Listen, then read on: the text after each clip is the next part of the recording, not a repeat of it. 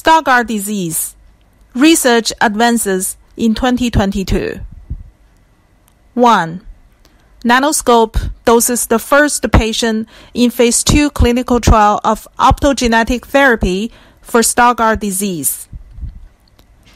Nanoscope Therapeutics, a biotechnology company developing gene therapies for retinal degenerative diseases, has dosed the first participant in a phase 2 clinical trial of its optogenetic therapy for people with advanced Stargardt disease. The optogenetic therapy is designed for people who have lost most or all of their photoreceptors, the cells that make vision possible. The treatment, a small drop of liquid delivered by an intravitreal injection, uses a human engineered virus to deliver copies of the MCO gene to bipolar cells. These cells don't normally sense light, but often survive after photoreceptors are lost to advanced retinal disease. 2. Belite Bio conducting phase 3 clinical trial to slow disease progression. The biopharmaceutical company Belite Bio is enrolling adolescent patients ages 12 to 18 with Stargardt disease in its phase 3 clinical trial for tinlarebant, an emerging oral medication designed to slow disease progression and vision loss.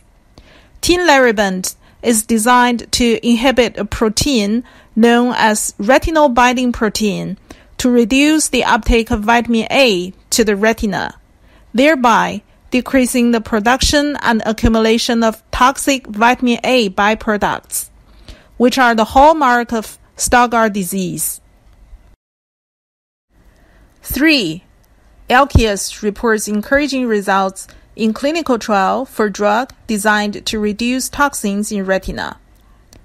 The biotech company is conducting a phase 2 clinical trial for a drug ALK001 that targets the toxic buildup in the retina that causes degeneration and vision loss. The therapy slowed the lesion growth by about 30%.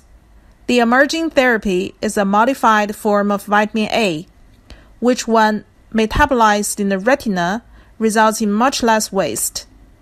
Scientists developed ALK001 by replacing hydrogen atoms in vitamin A with deuterium. Known as deuterated vitamin A, it burns cleaner than the natural form.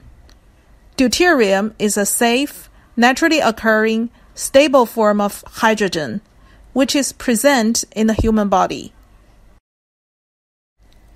4. Stargardt disease natural remedy will help prepare for future clinical treatments. STEM Active and AC Steam are the best combined natural remedy for Stargardt disease. Research has shown that patients who supplement with STEM Active and consistently consume it for three to six months of the year have had, on average, an annual decrease in the loss of retinal function by 20%, as measured by ERG in comparison to those not taking STEM Active is also the best preparation for future gene and stem cell therapies, which will double guarantee the best treatment outcomes safely and naturally. AC steam device delivers electrical impulses to damaged and diseased photoreceptor cells. This electrical stimulation enhances the activity and function of these retinal cells, thereby reinforcing visual signaling along the optic nerve and partially restoring impaired vision. 5. Research team is creating patch derived from stem cells to restore vision of Stargardt disease. The patch consists of two layers. One layer will serve as a precursor to vision enabling photoreceptors. Once transplanted, the stem cells of this layer will mature into photoreceptors. The other layer will consist of mature retinal pigment epithelium cells, which provide waste disposal and nutrition for photoreceptors.